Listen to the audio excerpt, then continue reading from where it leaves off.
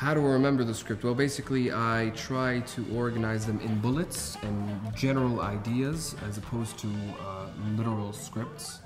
Um, that way, it gives me more freedom to improvise the actual dialogue while still keeping in mind the ideas uh, and their transitions.